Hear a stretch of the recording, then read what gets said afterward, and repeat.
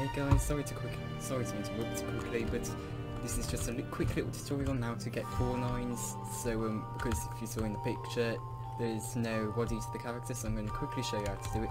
Take either the Darth Scion or Asajj Ventress morph. Now, if you're in uh, either Excel, you can you can just use them. But if, if you if you don't want to use them, or you're in the Resistance War, which is really if you're playing normal timelines, that's where you should be using four nines.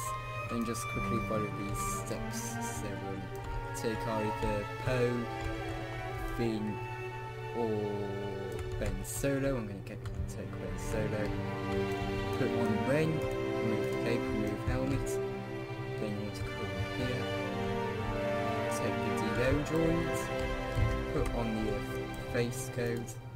And then press 6 to lowering and there you go. So that was the uh, quick little tutorial. Sorry about this interruption, but uh, but it's just about to quickly just show you so you know how to do it.